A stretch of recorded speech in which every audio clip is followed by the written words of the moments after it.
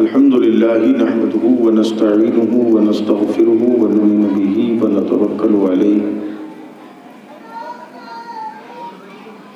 व नऊज़ु बिल्लाहि मिन शुरूरि अनफुसिना व मिन सय्यिआति अमालिना मन यहदिल्लाहु फला मुदिल्ल लहु व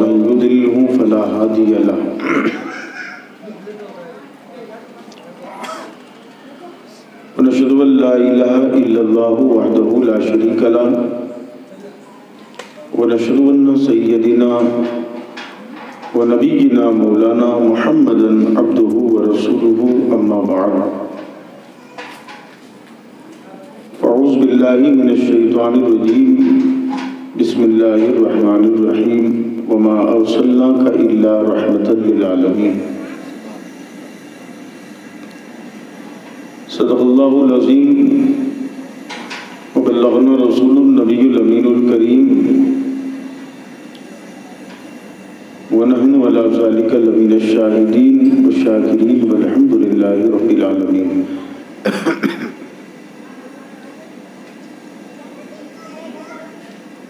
आइए सबसे पहले हम सब मिलकर अपने आकाई मौला, हजूर रहमत आलम शफ़ीउल मुजरबीन रहमतुल्लिलामीन राहतिल आशिकीन, मुरादिल मुश्ताकीन, शमशिल आरिफीन सिराजिस सालिकीन, मिसबाहिल मुकर्रबीन, मुहिब्बिल फ़क़राई वल ग़ुरबाई वल मसाकीन,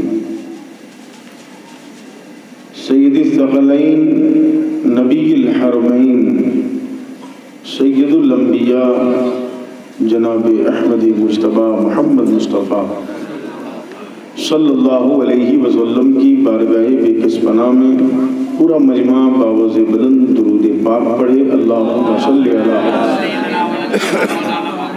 सैदना शफीना मौलाना मोहम्मद माउदलकरम मुबारक वसलम सल्लु अलैहि।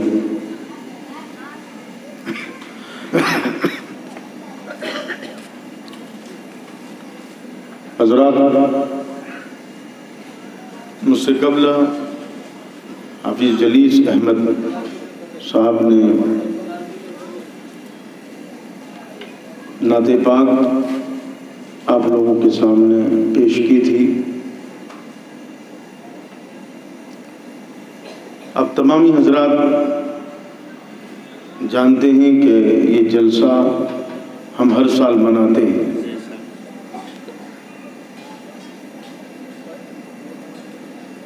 इस जलसे का नाम है जश्न ईद मिलादुलनबी सल्लल्लाहु अलैहि वसल्लम। थोड़ी देर के लिए मैं आप हजरात के सामने हाजिर आया हूँ। हमें मिलाद, हुजूर की शान तो कमा हक को हम अदा ही नहीं कर सकते।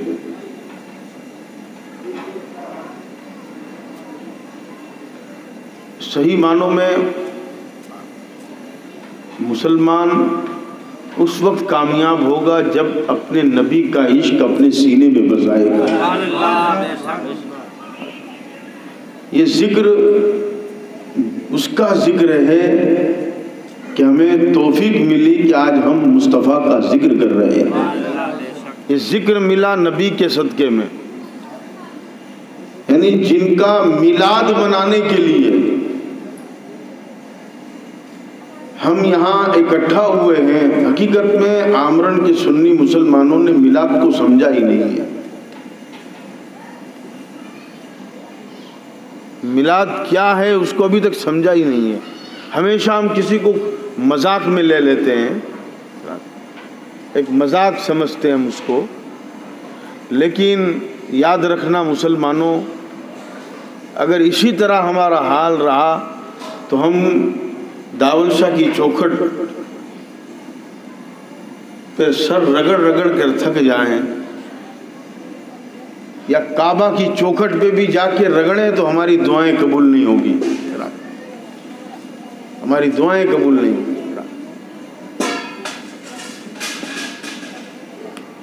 हकीकत क्या है मुसलमानों में, समझ में नहीं आ रहा है, क्यों नबी की की पेश में नहीं करनी?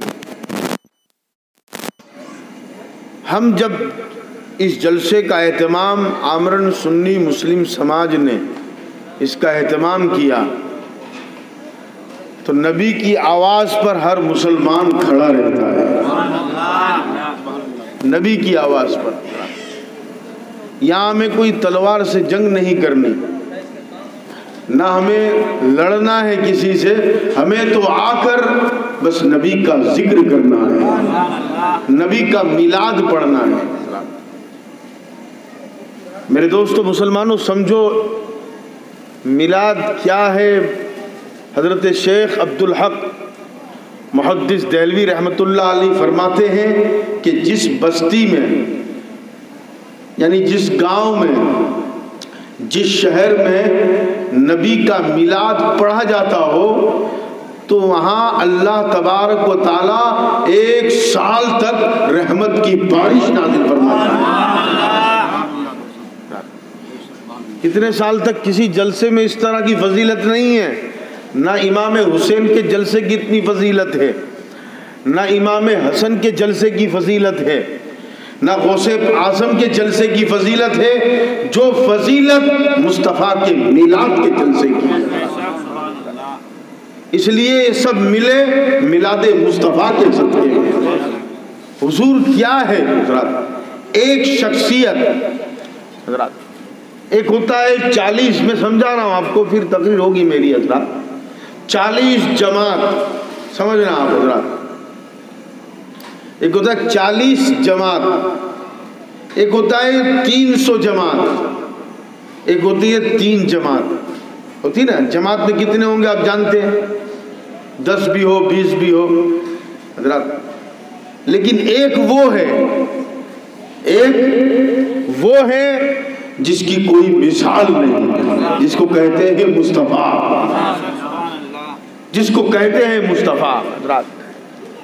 मेरे दोस्तों, हजरात, बड़े खुश नसीब हजरात, आप लोग गलियों को सजा रहे हैं और नबी के मिलाद में यहाँ डेकोरेशन लगाया, गाँव वालों ने माई, कुर्सियाँ, शामिया ने यहाँ बिछाया है बिछोना और झंडियाँ लगा रहे हैं। मैं आपसे सवाल करूँ, किसके लिए? हुजूर के लिए। कर रहे हैं ना हुजूर के लिए? फिर हुजूर के मिलाद के जलसे में क्यों नहीं आते? मिलाद के जलसे में। और यहाँ एक एक एक जहन रखना, हजरात। वो हदीस पे कभी मत जाना। आज से 1400 साल पहले मेरे मुस्तफ़ा ने मदीने की टूटी हुई चटाई पर बैठ कर इशाद फरमाया था, एक वक्त वो आएगा, एक वक्त वो आएगा कि मुकर्र आलिम दिन तकरीर करेगा, लोग अपने ऊपर ले लेंगे। तो क्या ये उसके मिसदाक बनोगे? हरगिज नहीं। जरा बहुत से लोग होते हैं ना, तकरीर अपने ऊपर लेते हैं। ये हुजूर ने 1400 साल पहले हजरात मदीने की टूटी टूटी हुई चटाई पर बैठकर इरशाद फरमाया कि एक वक्त ऐसा आएगा कि आलिम बयान करेगा लोग अपने ऊपर ले, ले लेंगे। मुझे कह रहा है तो तोबा अस्तगफिरुल्लाह इससे परहेज करो गुरेज करो। जो मिंबर पर बैठता है वो हमेशा अल्लाह उसके रसूल को हाजिर और नाजिर रखकर गुफ्तगु करता है तो क्या बनोगे मिजदाक, हजरात? हजूर ने बशारत दी, पेशन गोई दी। हजरात, एक वक्त आएगा, हजूर ने पेशन गोई दी, यजीद की दी ना? हजरात तो वो तुम ये, इस पर क्यों तुम्हारी तवज्जो नहीं है इतनी? वहाँ तो जाती है यजीद पर। इस पर अभी कोई मुकर बयान करे, भाई, मेरे ऊपर बोला होगा। तोबा अस्तगफिरुल्लाह। तोबा करो, अस्तगफार पढ़ो इससे, हजरात। कोई बेवकूफ़ आलिम नहीं है जो स्टेट पर किसी की बात करेगा, अगर बात करेगा तो फ़कत अल्लाह उसके रसूल की बात करेगा। किसकी बात करेगा? अल्लाह उसके रसूल की बात करेगा। और जो शरीयत मुताहरा में जो चीज़ें नाजायज़ है, उसको हम जायज़ कर सकते जिसको मुस्तफ़ा ने हराम कर दिया, क्या हम उसको जायज़ कर सकते हैं? किसी की हिम्मत है, रात। जिसको कुरान ने हराम कहा जिसको अल्लाह ने नाजायज कहा, जिसको अल्लाह ने हराम कहा, क्या आज का आलिम या आज का कोई मुल्ला या पीर उसको जायज़ कर सकता है? किसकी हिम्मत है हजरात? मेरे दोस्तों, हजरात, मिलाद को समझो। मिलाद क्या है मिलाद मुस्तफ़ा। अल्लाह इतना खुश होता है, इतना खुश होता है हजरात। हम समझे ही नहीं है मिलाद को। हर साल, देखो यहाँ कितने प्रोग्राम होते हैं छः दरगाह शरीफ पे। मैं आज आपको सब्जेक्ट खाली समझाना चाहता हूँ, नबी का इश्क हमारे सीनों में बसाए हम।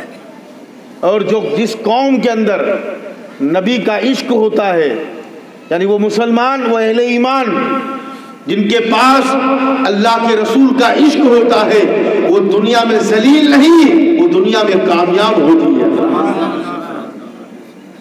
आज हम तरह तरह की परेशानी में मुबतला है। मुसलमान, आए दिन हमें तकलीफें आ रही हैं। हम कहते, दुआ हमारी, कितने लोग दुआ करते हैं? मस्जिदों में दुआ होती है शब बारात को दुआ करते हैं शब कदर को करते हैं। हजरात, बड़ी बड़ी रातों में हम दुआ करते हैं। क्या हमारी दुआ कबूल हुई है, बताओ कोई हजरात? कभी गौर किया आपने इस पर? क्यों? आखिर वजह क्या है? अपने से पूछ, क्यों हमारी दुआ कबूल नहीं हो रही है? अपने से पूछ। हजरात, कितने आ फला इमाम साहब से कहते हैं कि दुआ करा देना। फला ये दूर, कोरोना दूर हो जाए, ये दूर हो जाए, वो दूर हो जाए। कहते हैं ना, हम पर जब आती है तो हम मौलाना का दरवाज़ा दस्तक देते हैं। हजरात, या फिर दावल शाह की चौकट पे आते हैं ना दावल शाह कौन? हजरात, भूल जाते हैं हजरात। मेरे दोस्तों, कोई यहाँ हमेशा रहने नहीं आया है। ये जिस्म है, इसमें ना जाने कब क्या हो जाए गारंटी है इसकी। कोई गारंटी नहीं है हजरात। इसकी कोई गारंटी है, जिस्म में क्या हो जाए हजरात। तो मेरे दोस्तों, हमें वक्त मिला है। नबी का मिलाद और यहाँ जितने लोग बैठे हैं, वो बड़े खुश नहीं ये मत समझना हजरात, हुजूर हमारे ज़िक्र के मोहताज नहीं है माशा हम मोहताज हैं। और हम बड़े खुश नसीब हैं, यहाँ जितने हजरात बैठे हैं, वो रसूलुल्लाह का मिलाद मना रहे हैं। हुजूर का मिलाद बना रहे हैं। बाबा से बुलंद बोलो, या रसूल अल्लाह या रसूल अल्लाह या रसूल अल्लाह हजरात, आप लोग अगर जल्दी इस जलसे में आ जाएँ तो ये सब बातें बयान करने की ज़रूरत आए। बिल्कुल ना। ये कोई खेल तमाशा नहीं है ये। हजरात, मिलाद जिस तरह आदम ने अपने बेटे शीश से कहा था, सब कुछ भूल जाना, लेकिन मोहम्मद मुस्तफ़ा को मत भूलना। हमारा बाप सब आदम की औलाद है, सब आदम की औलाद है। वो अपने बेटे हज़रत शीस सलाम को नसीहत कर रहे हैं। अरे, हम बड़े खुश नसीब है कि हम उनकी उम्मत में पैदा हुए बड़े खुश नसीब है हजरात। इसके बावजूद हम हमारे बिस्तरों पर आराम कर रहे हैं हजरात। और कल क़यामत के दिन नबी करीम क़यामत के दिन कोई, कोई किसी का मकान होगा? ये किसी का मकान है समझना हजरात मिलाद मुस्तफ़ा। हजरात क़यामत के दिन ये आप दिख रहे हो मज़ार दिख रहा है सामने हज़रत दावल शबीर का गुंबद नज़र आ रहा है। ये गुंबद होगा? नहीं होगा। मस्जिदें नहीं होगी ना हमारे मकान ना कुछ सब फना। कुल्लु मन फ़ान वह बका वजहू रब्बी का दुल जलाली वली कराम हर चीज़ फानी है।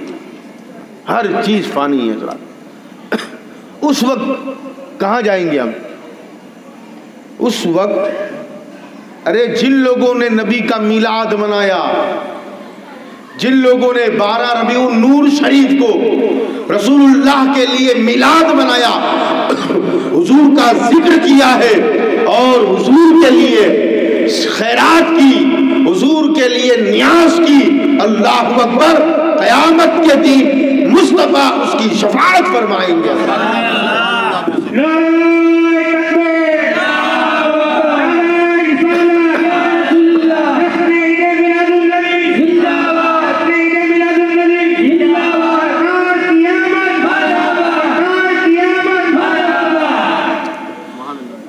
तो हजरात पूरा मजमा बाबा से बुलंद, दरूद पाक पढ़े अल्लाह सैदना शफ़ीना मौलाना मोहम्मद मादूदी वलकरम सलातम दाइमन अली रसूल सल्लल्लाहु अलैहि वसल्लम। खाक हो जाए अदू जलकर मगर हम तो रजा। खाक हो जाए अदू जल कर मगर हम तो रजा दम में जब तक दम है, ज़िक्र उनका सुनाते जाएँगे।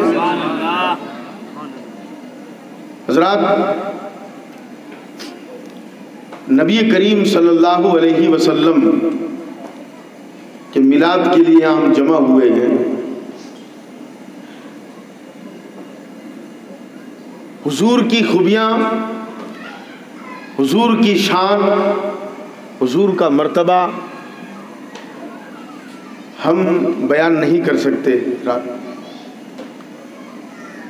वो शान के मालिक है। अल्लाह तबारक ताला ने आपको वो मर्तबा, वो शान अता की है कि अम्बिया की जमात में किसी नबी को ये शान नहीं मिली है।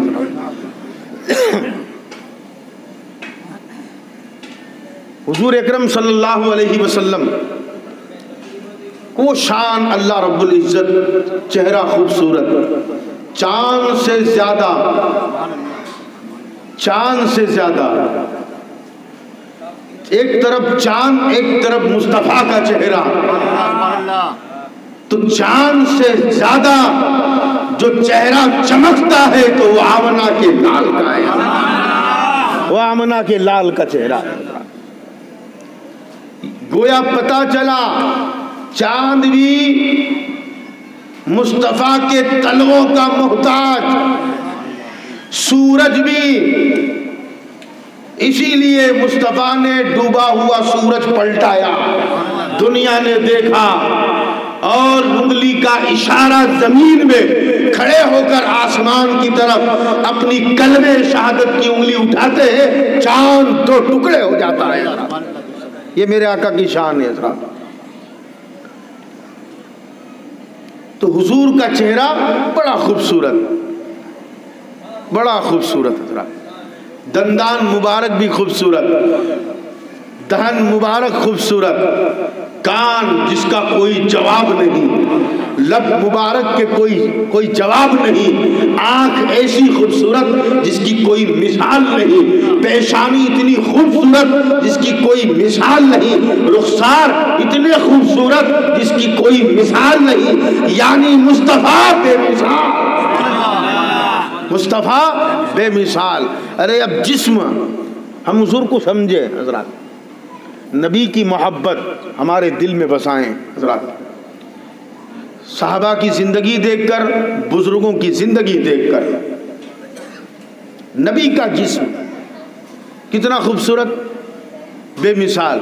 अरे, हमारा पसीना आए बदबूदार। नबी का पसीना आए खुशबूदार। नबी का पसीना आए खुशबूदार। अरे हमारे पसीने को देखें हजरात, ने हुजूर का पसीना। इत्र भी फेल। या सरकार ने कभी इत्र नहीं लगाया। कभी इत्र नहीं लगाया सरकार ने। हज़रत एक हदीस शरीफ याद आई मुझे।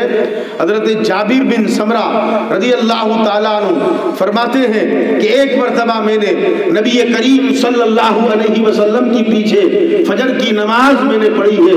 अल्लाह अकबर, जब नमाज़ मैंने अपने आका सल्लल्लाहु अलैहि वसल्लम के पीछे अदा कर ली, हुजूर नमाज़ पढ़कर खड़े होते हैं, मस्जिद से बाहर निकलते हैं, मैं हुजूर के पीछे अल्लाह अकबर, आका आगे है, सरकार आगे आगे हज़रत जाबिर पीछे है, पीछे पीछे चल रहे हैं। मुस्तफ़ा आगे जा रहे हैं। हज़रत जाबिर फरमाते हैं, मैं क्या देखता हूँ कि हुजूर जा रहे थे, कुछ बच्चे जो है, वो मोहल्ले में खेल रहे थे। आका, उन बच्चों में तशरीफ़ ले जाते हैं और एक एक बच्चे को बुलाकर कहते हैं, ए बच्चा, यहाँ हाँ जब एक बच्चा अपने आका को देखता है, दौड़कर हुजूर के दरबार में हाजिर होता है। हुजूर उसके सर पर दस्ते शफकत रखते हैं और शफकत फरमाते हैं, उसके लिए दुआ करते हैं। वो बच्चा चला जाता है, दूसरा बच्चा आता है, तीसरा आता है। अल्लाह अकबर, बच्चों के सर पर मेरे आका दस्ते शफकत फरमा रहे हैं। अब आप फरमाते हैं, सरकार फरमाते हैं, जाबीर तू भी आ जा। बोलो सुबह अल्लाह। जाबिर, तू भी आ जा। हज़रत जाबिर जब हुजूर के दरबार में हाजिर हुए तो सरकार ने जाबिर ने हाथ बढ़ाए। जाबिर ने हाथ बढ़ाए और हुजूर ने अपने हाथ जाबिर के हाथ में डाले। जाबिर के हाथ में डाले और जब जाबिर ने हुजूर के हाथ को बोसा दिया और हाथ यानी मुस्तफ़ा के हाथ से जाबिर ने अपने हाथ को जुदा किया। जाबिर का फरमान है कि इतनी बेहतरीन खुशबू कस्तूरी से ज़्यादा भी महक रही थी। इतनी बेहतरीन खुशबू हजरात। हज़रत जाबिर फरमाते हैं कि मुझे ऐसा लग रहा था कि हुजूर ने जब हाथ निकाला तो ऐसा लगता था कि कहीं अत्तार फरोश की दुकान या संतुकची से हुजूर ने अपना हाथ निकाला है। तभी तो आमना ने कहा था। क्या कहा था? अरे जो बच्चा आया था मेरे पेट से, मेरे बतन से, इतनी खुशबू के मेरा पूरा घर खुशबू से महक उठा। मेरा पूरा घर खुशबू से महक उठा। हज़रत हज़रत उम सलमा, उम्मुल मोमिनीन फरमाती है कि जब हुजूर की रूह निकलने के करीब थी, हुजूर की रूह निकलने के करीब थी तो मेरा ये हाथ हुजूर का हुजूर का हाथ नीचे था कहाँ? नीचे था। उम्म सलमा फरमाती है कि मेरे मकान में थे मुस्तफ़ा। मैंने वो हाथ उठाया किसका हुजूर का। हुजूर का हाथ उठाकर उम्म सलमा के फरमाती कि मैंने हुजूर के सीने में रख दिया। जब मैंने अपने हाथ को जुदा किया तो सात दिन तक मेरे हाथ में खुशबू रही है कितने दिन तक? सात दिन तक मेरे हाथ में खुशबू रही है ये हुजूर का पसीना हुजूर ने कभी कस्तूरी नहीं लगाई, ना इत्र लगाया है, हज़रत, ना इत्र लगाया है। एक हज़रत शेख अब्दुल हक मोहद्दिस दहलवी रहमतुल्लाह फरमाते हैं कि एक आदमी था, एक आदमी था और उसकी लड़की की शादी करनी थी तो उसको उसको खुशबू की ज़रूरत थी। और लड़की ने कहा था, अब्बा, ऐसी खुशबू लाना कि जिसका दुनिया में कोई जवाब ना हो, कि लोग दंग रह जाए। ऐसी खुशबू, ऐसा इत्र, कस्तूरी लेकर आना कि जिसमें, जिसका दुनिया में कोई जवाब ना हो, वो तलाश करता रहा। वो तलाश करता रहा, लेकिन उसको नहीं मिला। किसी ने कहा, जा मदीने के ताजदार के दरबार में, हुजूर के दरबार में जा।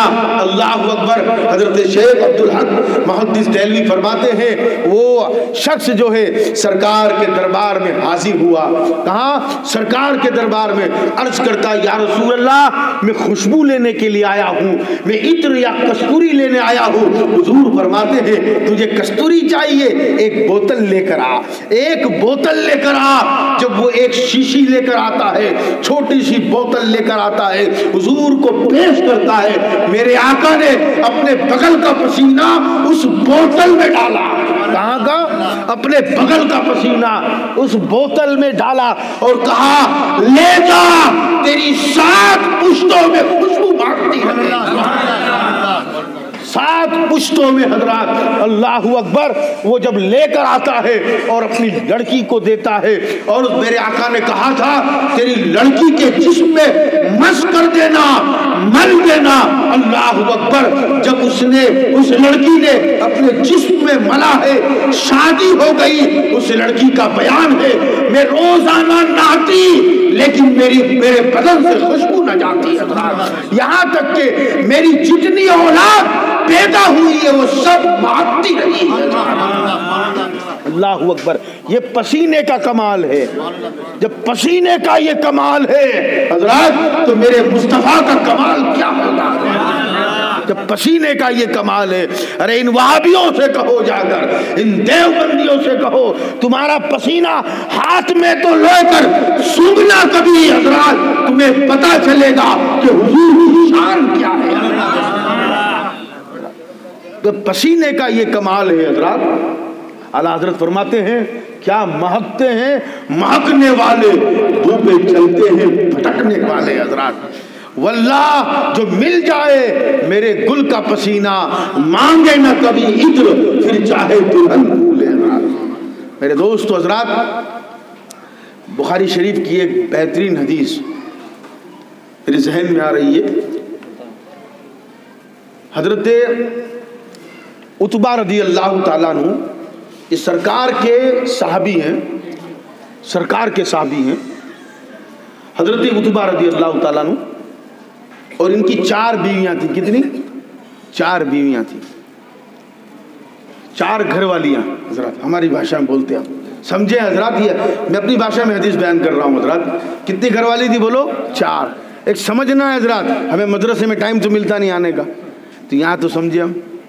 ये हदीस याद कर लेना हजरात, कितनी घर वाली चार, वो बीवियाँ एक से एक इत्र लगाती, कस्तूरी लगाती, कि आज मेरे शोहर को मैं हेज कर दूँगी, मेरे खाविन को खामोश कर दूँगी। चारों इतनी बेहतरीन कस्तूरी लगाती और पूरा घर खुशबू खुशबू खुशबू होता। लेकिन जैसे ही उनका शोहर, यानी हज़रत उतबा घर में दाखिल होते, उनकी खुशबू खत्म। हेज हो जाती। बीवियाँ परेशान हो गई लगाते कौन सी खुशबू है? ये कौन सी खुशबू लगाते हैं कि हमारी खुशबू हेज हो जाती है, मात पड़ जाती है? हमारी खुशबू का कुछ नहीं आता है। जैसे ही हज़रत उतबा दाखिल होते हैं यहाँ तक के, आपकी गली, आपका शहर, आपका मकान खुशबुओं से मांग उठता बीवियाँ परेशान हो गई, चारों बीवियाँ परेशान हो गई। एक दिन पूछ लिया। एक दिन पूछ लिया। पूछा, ए, हमारे सरताज, ये तो बताओ, आप खुशबू लाते कहाँ थे कि हम इतनी बेहतरीन खुशबू लगाते हैं, लेकिन जैसे ही आप आ जाते हैं, हमारी खुशबू ख़त्म। मात पड़ जाती है। हम हम चारों ये गुफ्तगु करती हैं कि आज हमारे शोहर को हम फेल कर देंगे, लेकिन हम हार जाते हैं। तुम बताओ, तुम्हारे पास कौन सी कस्तूरी है? कौन सा इत्र है जो हमारी खुशबुएँ मात पड़ जाती है हैच हो जाती है? तो आप फरमाते हैं, अपनी बीवियों से कहते हैं कि मैं एक दिन बीमार पड़ गया। एक दिन मैं बीमार पड़ गया और वो बीमारी ऐसी थी कि मेरे पूरे बदन में फुंसियाँ निकल गई। क्या निकल गई? फुंसियाँ निकल गई। अल्लाह अकबर। मैं दवा इतनी करवाया, मुझे इलाज नहीं अच्छा नहीं हुआ। और बस मदीने के ताजदार। कायनात का बादशाह, सैयदुल अंबिया, रसूल करीम सल्लल्लाहु अलैहि वसल्लम के दरबार में हाजिर हुआ। मेरा पूरे बदन में फुंसियाँ थी। क्या थी?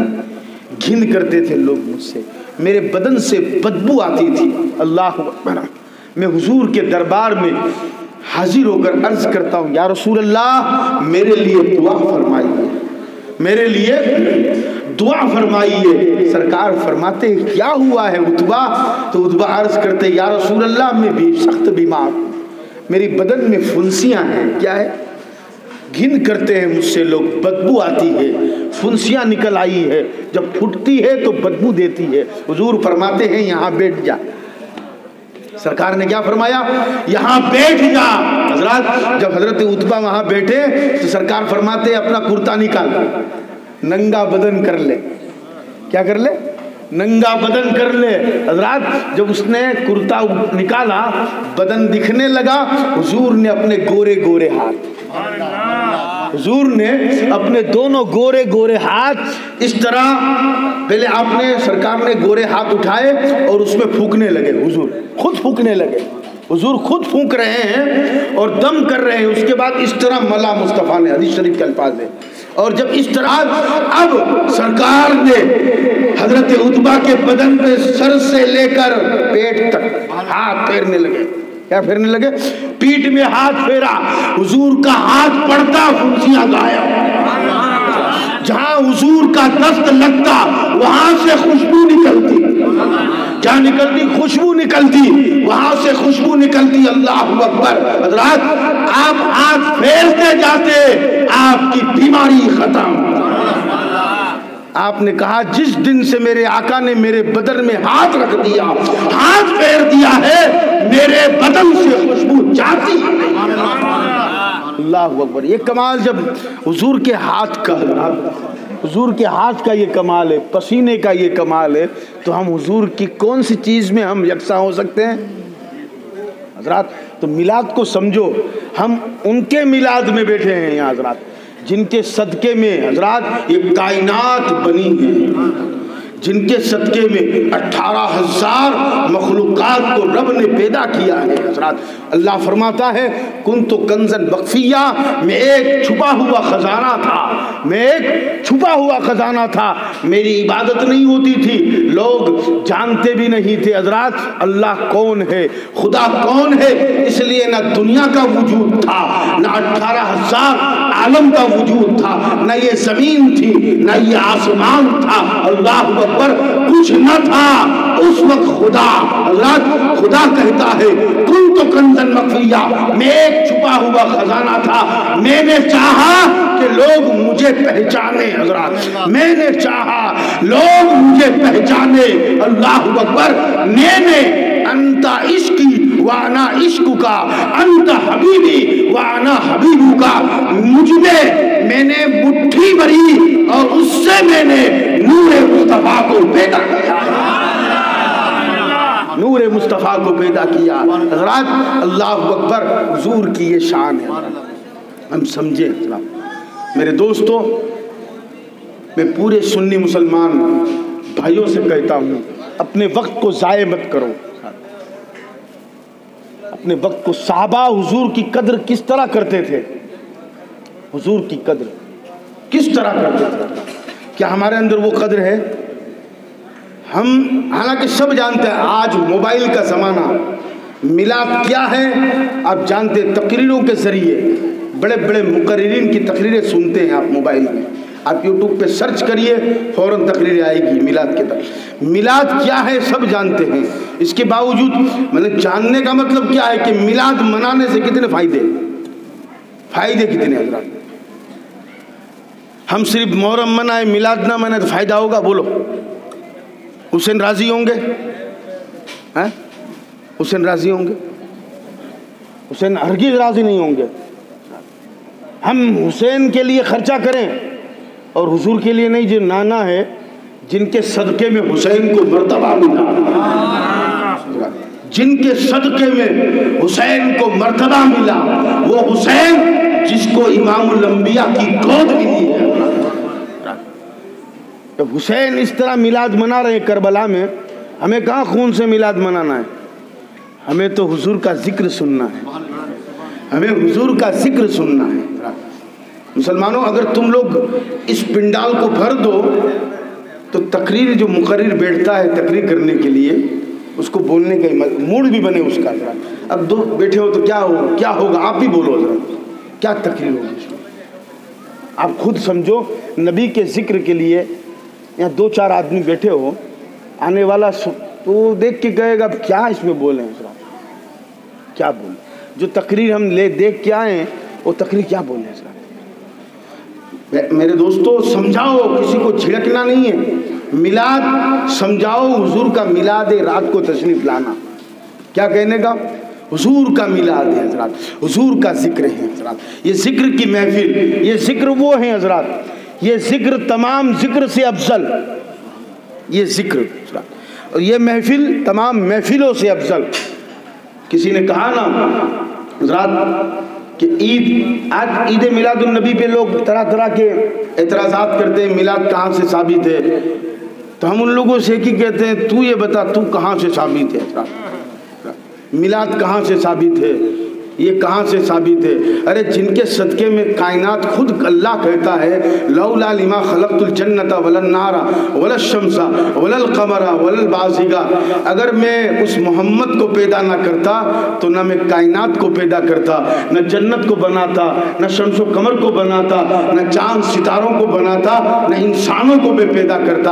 हजरात, जब हुजूर के सदक़े में हम पैदा हुए हैं, हुजूर के सदक़े में आज ये हम बैठे हैं और हुजूर का ज़िक्र सुन रहे हैं मेरे दोस्त हजरात तो मिलाद की महफिल, यहाँ छः दिन तक हजरात, राबता मुझे आज पहली रोज़ाना मस्जिद में होती थी, और यहाँ छः दिन का जो खिताब होगा, आप जल्दी तशरीफ़ लाएँ। आप जिस वक्त तशरीफ़ लाएँगे, वो टाइम मुझे दे दो, वो टाइम को हम यहाँ यहाँ आकर बैठे हजरात। मेरे दोस्तों, आप साढ़े दस बोल दो, या ग्यारह एक ही घंटा तकरीर होगी हजरात। ज़्यादा नहीं होगी। हमें एक ही घंटा हुजूर का ज़िक्र सुनना है। काश ये वो ज़िक्र हो कि इस ज़िक्र के सदके अल्लाह हमारी मफफरत फरमा दे। हमारी मफफरत फरमा दे हजरात। बस मकसद यही है हजरात अजीज़ा ने मिलत इस्लामिया, कि हमारे सहाबा की जमात ने जो रसूलुल्लाह का मिलाद बनाया है, हम इस तरह का मिलाद नहीं बना सकते हजरात। हुजूर की दरबार में वो सब कुछ कुर्बान कर देते थे, हजरात। मैं एक वाक़ एक हदीस शरीफ बार बार बयान कर चुका हूँ। हज़रत असमद रदी अल्लाह तु ये हुजूर के साहबी हैं, हबशी थे। क्या थे वो? मिशकात की हदीस है, हजरात। हुजूर के दरबार में सरकार की खिदमत करते थे। हुजूर को पानी पिलाते थे, कभी वज़ू कराते थे। अल्लाह अकबर, बेचारे वो देहात के रहने वाले थे। हुजूर ने अपने करीब ले लिया था। असाब सुफ़ा की जमात में उनका शुमार होता है। एक मरतबा हुजूर तशरीफ़ फरमा थे कि इतने में हज़रत असवद खड़े होते हैं, कहीं जाने लगते हैं तो मेरे आका फरमाते, असवद तू इतना बड़ा हो गया है तो शादी क्यों नहीं करता है? तो शादी क्यों नहीं करता है? मैं समझा रहा हूँ, इश्क हजरात। मिलाद हम क्या मनाएँगे? इस हदीस में मिलाद भी है हजरात। सुनना तवज्जो से हजरात। हम उस वक्त क्या करते? हम उस वक्त क्या करते? हज़रत असवद फरमाते हैं, हज़रत असवद जब करीब आए, सरकार हाँ बड़ा तो हो गया हूँ, बड़ा हो गया हूँ, पर हुजूर ने जब ये कहा कि तू तो शादी क्यों नहीं करता है? तो शादी क्यों नहीं? इतना बड़ा हो गया है। हर हर इंसान के अरमान होते हैं कि मेरी जल्दी शादी हो जाए। होते हैं ना हजरात? और बाप को भी यही तमन्ना होनी चाहिए कि बच्चा जब सिन्न बलूक तक पहुँच चुका है, हजरात, बालिग हो चुका है, उसकी शादी की फ़िक्र की जाए, वरना कल क़यामत के दिन इसको जवाब देना पड़ेगा। अल्लाह अकबर। हज़रत असवद रज़ी अल्लाह तु रोने लगे। मेरे आका फरमाते हैं, अरे, जब कोई हजूर के सामने रोए तो हजूर को कितनी तकलीफ़ होती है? सरकार फरमाते तू रोता क्यों है? तू रोता क्यों है? इधर आ। हजरात, जब हज़रत असवद करीब आए तो हज़रत असवद अर्ज़ करते हैं, या रसूल अल्लाह मैं हबशी हूँ, मैं पक्के रंग वाला हूँ, मैं काला हूँ, मेरे होठ इतने लंबे हैं, मेरे होठ इतने ऊँचे हैं, मुझे कौन लड़की देगा, हजरात? मुझे कौन लड़की देगा? सरकार फरमाते, तू घबराता क्यों नहीं है? तू घबराता क्यों है? मैं खुद तो हूँ, अल्लाह अकबर, मैं सब कुछ हूँ तेरे लिए, अल्लाह अकबर। हजरात मेरे आका सल्लल्लाहु अलैहि वसल्लम फरमाते हैं असवद घबरा मत, जा मक्का शरीफ में, जिसका जिसका घर सबसे ज़्यादा खूबसूरत है, उस घर में रहने वाले सबसे ज़्यादा खूबसूरत है, और उसमें एक लड़की है, उनकी एक अकलौती लड़की है, हजरात, जो पूरे मक्का मदीना, पूरे अरब में उसका ज़िक्र है, उसके हुस्न की तारीफें हो रही है। हर शख्स ये तमन्ना करता है, मेरा निकाह उस लड़की से हो, जा, उसके मकान पर जाना और कहना, मोहम्मद अरबी ने कहा है, तेरी लड़की का रिश्ता मुझसे करा अल्लाह अकबर, हज़रत असवद भी ताजुब में पड़ गए। नबी का हुक्म था, हज़रत मदीना शरीफ की चिलचिलाती धूप चिलचिलाती धूप, वो धूप, वो समा, हज़रत वो वक्त के वो टाइम, दोपहर के वक्त सारा मदीना आराम से सो जाता था। हज़रत, इसलिए कि वो पथरीली ज़मीन है, वो पथरीली ज़मीन है, ज़मीन से लू निकलती है। आसमान से लू टपकती है और ज़मीन से लू के थपीड़े निकलते हैं। अल्लाह अकबर। हज़रत असवद जो है, उसी चिलचिलाती धूप में निकलते हैं और इस मकान पर पहुँचते हैं। दस्तक देते हैं। खादिम ने दरवाज़ा खोला है। अल्लाह अकबर। खादिम दरवाज़ा खोलता है। कहने वाले ने कहा, क्यों आए हो? कहा, मैं इस मकान के मालिक से मिलने के लिए आया हूँ। इस मकान के मालिक से मिलने के लिए आया हूँ। मुझे मेरे आका मोहम्मद अरबी सल्लल्लाहु अलैहि वसल्लम ने भेजा है। इतना सुनना था। उस ये आवाज़ उसके कान में पड़ गई अल्लाह, वो हुस्न की मलिका, वो हुस्न की मलिका 18 या 19 साल की, वो खूबसूरत लड़की ये मंजर देख रही थी कि आज मेरे आका ने किसको भेजा है?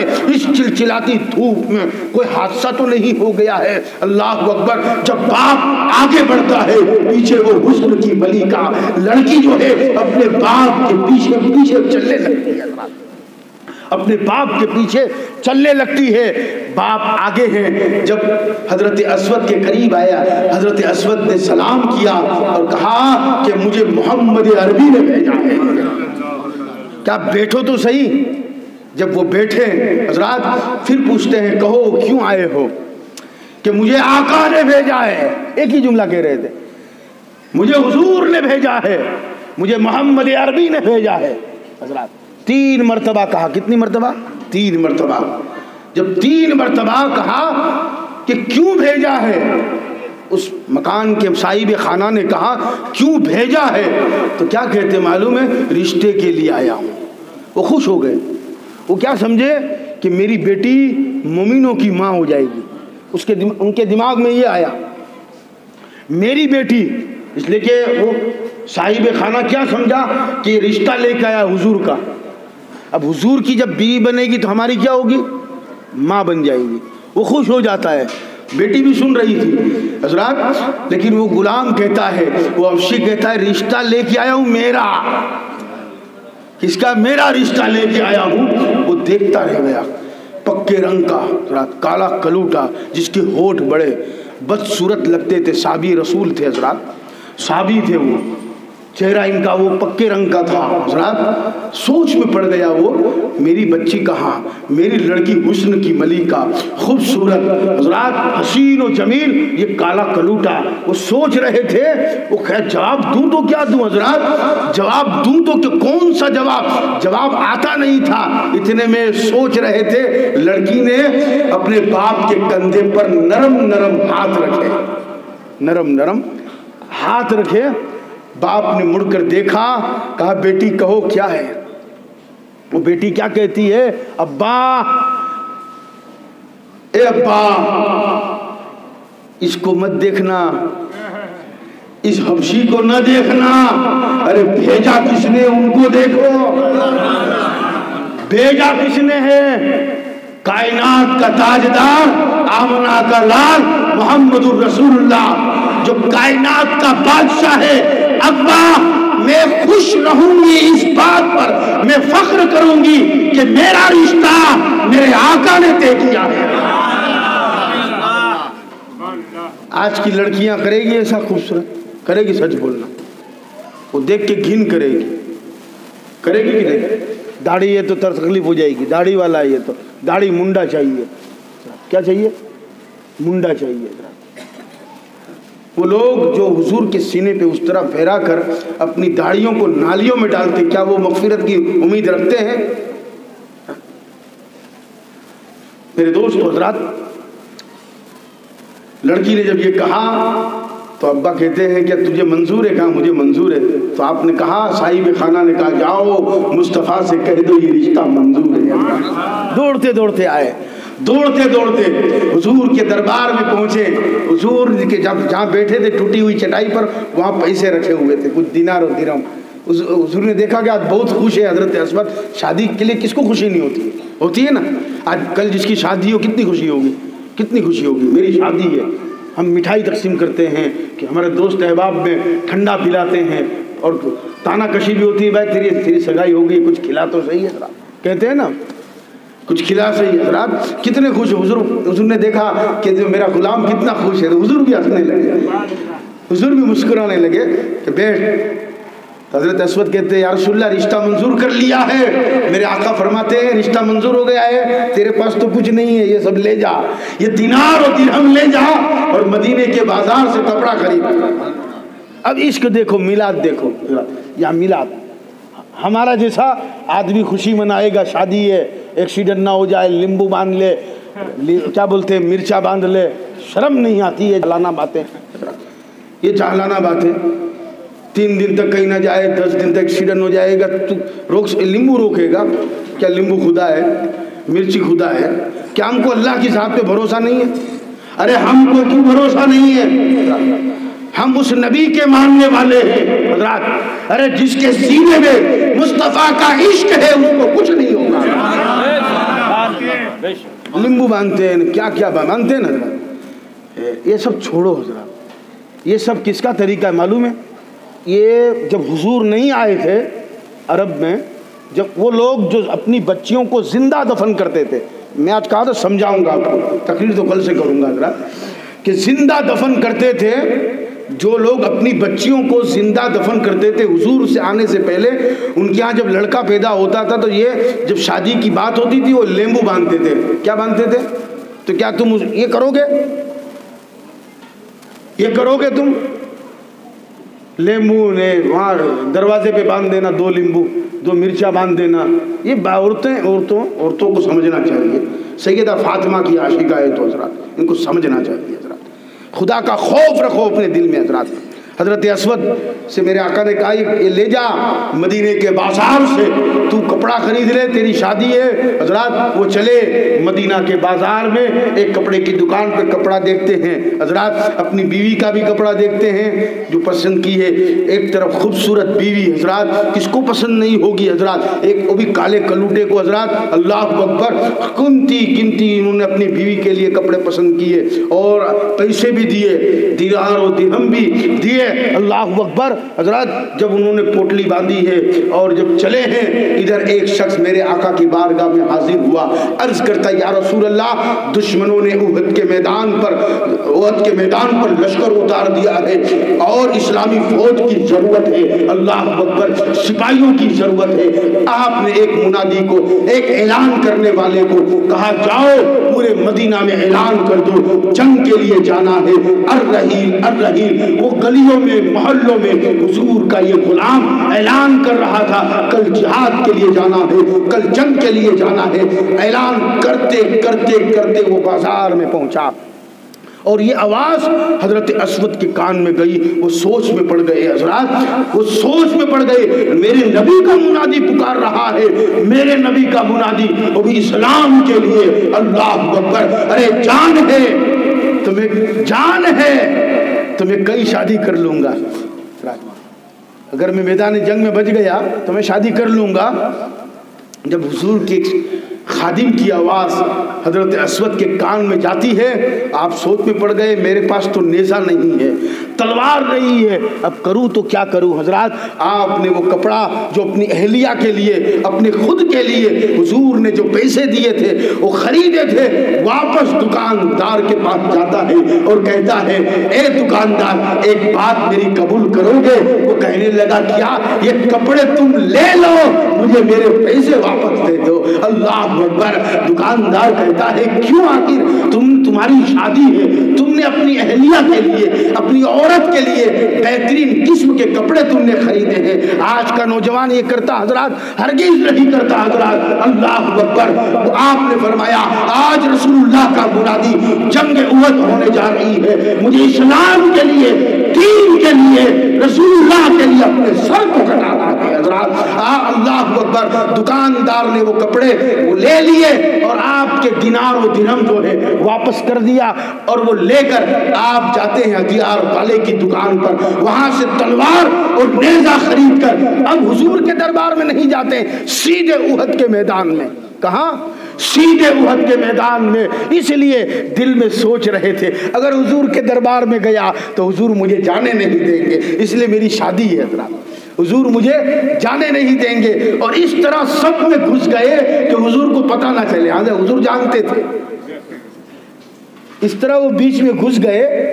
काला, खुद काले थे, काला नकाब पहन करके कोई देख ना सके।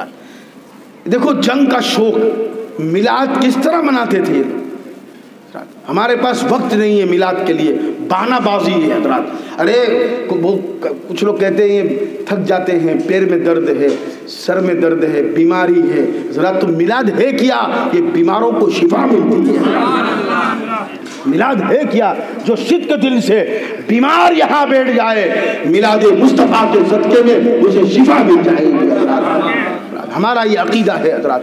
हज़रत असवद रज़ी अल्लाह तजरत जंग करते हैं। जंग उबद होने लगी, हज़रत। और जंग उबद अगर खोलूँगा तवील होगा हज़रत, जब ये ख़त्म हुई और जितने मुजाहिदीन शहीद हुए, अल्लाह अकबर। हुजूर ने सबकी नाश अलग अलग की। इतने में हज़रत साद की नाश आ गई, हज़रत असवद की नाश। हुजूर देख कर रोने लगे। मेरे आका, इनकी कल शादी थी और ये चले गए जंग के लिए। जब रोने लगे हुजूर, फिर जब नाश को अपने गोद में लिया रोने लगे, फिर थोड़ी देर के बाद हुजूर मुस्कुराने लगे। क्या लगे? मुस्कुराने लगे, हंसने लगे। हुजूर हंसने लगे। तो साहबा ने पूछा, या रसूल अल्लाह आप रोते क्यों थे? फिर हंसने लगे। तो सरकार फरमाते हैं कि इसलिए रो रहा था कि कल इनकी शादी थी। इनके अरमान ये पूरे न कर सके। शादी के अरमान, हुजूर फरमाते हैं, शादी के अरमान, ये पूरे ना कर सके, मुझे रोना आ गया। जब मैंने आसमान की तरफ़ देखा, जन्नत की सारी उम्रें आसमान पर आकर आपस में झगड़ रही थी। मैं इनसे ये मेरा शोहर है, मैं इनसे निकाह करूँगी, मैं इनसे निकाह करूँगी। अल्लाह अकबर, जो हुजूर का मिलाद बनाता है, अल्लाह उसको वो इज़्ज़त अता करता है। मेरे दोस्तों, हमें भी चाहिए कि हम मिलाद मनाएँ और हमारी गलियाँ, हमारी गलियों को सजाएँ, मस्जिदों को सजाएँ, मदारिसों को सजाएँ। दरगाह शरीफ में भी डेकोरेशन लग चुका है। हजरात, कल हजरात आप लोग जल्दी तशरीफ़ लाइए। आज कोई तकरीर का मकसद नहीं, समझाने का मकसद था हजरात। ये मिलाद को समझो हजरात। जिस तरह मोहरम यहाँ हुजूर, इमाम अली मकाम हज़रत इमाम हुसैन रदी अल्लाह तु का यहाँ सौदाए करबला के नाम से हम यहाँ जलसा जो करते हैं पूरा गाँव, एक जज्बा होता है ना? इसी तरह मिलाद का भी जज्बा होना चाहिए। आप लोग ज़रूर तशरीफ़ लाइए। हज़रत, इसलिए कि मिलाद शरीफ के अंदर आप जो नीयत लेकर आएँगे, परेशान है तो परेशानी दूर हो जाएगी। बीमार है तो उसको शिफा मिल जाएगी हज़रत। लेकिन नीयत साफ़ होनी चाहिए। नीयत अगर साफ़ है तब हज़रत, अगर दिल में कीना है तो कभी कुछ नहीं हासिल होगा। हज़रत, मेरे दोस्तों, अल्लाह की बारगाह में दुआ करता हूँ। अल्लाह ताला हम सबको नेक अमल की तोफ़ी कता फरमाए, बोलने में जो कुछ गलतियाँ और कोताहियाँ उसके फजल करम से माफ़ फरमाए। और हज़रत, देखो यहाँ जश्न ईद मिलादुलनबी के ये छः प्रोग्राम हर साल मनाए जाते हैं। छः मस्जिद में होते हैं, महफिल की नस्बत से। नात खानी वगैरह होती है। अब ये छः प्रोग्राम जो होते हैं, इसमें सामने चाय पिलाई जाती है हुजूर के नाम पर। तो आप लोगों से, पूरे गाँव से मैं अपील करता हूँ, मेरी बदनी अपील है कि आप लोग कोई दूध दे सकता है तो दूध दे हुजूर के नाम पर। कोई शक्कर दे सकता है तो शक्कर दे। कोई क्या बोलते हैं, चाय की पत्ती दे सकता है तो चाय की पत्ती दे। इंशाल्लाह बोलो। हुजूर के इश्क में, हुजूर की न्याज, सब न्याजों से अफजल। सब न्याजों से अफजल। तो हजरात, ये मैसेज सबको बोलना, जो लोग दो दिन का दूध दे या एक दिन का दूध दे या एक दिन की चाय मेरी तरफ़ से हो, हजरात, इस तरह भी आप कर सकते हैं, हजरात। इसलिए ये चाय जो है, पूरा गाँव पीता है, हजरात। और आपसे पूछा जाए, ये चाय है क्या? तो हुजूर की न्याज है क्या कहेंगे आप? हुजूर की न्याज है। और हम खुश नसीब है कि हमारा पैसा हुजूर की न्याज में जाता है। मेरे दोस्त, हजरात, और यहाँ प्रोग्राम में जब आप तशरीफ़ लाएँ तो रोज़ाना अपनी न्याज, जिस तरह मुहर्रम गुज्त साल ईद मिलादुलनबी में आप लेकर आते थे, नमकीन, बिस्किट, मिठाई दस रुपए की लेकर आओ, बीस रुपए की, पाँच रुपए की भी लेकर आओ। अपनी हैसियत के मुताबिक सारे लोग लेकर आए, इस पर फातिया पढ़ा जाएगा, मेरे आका खुश हो जाएगा। वाह अलहमदिल्ला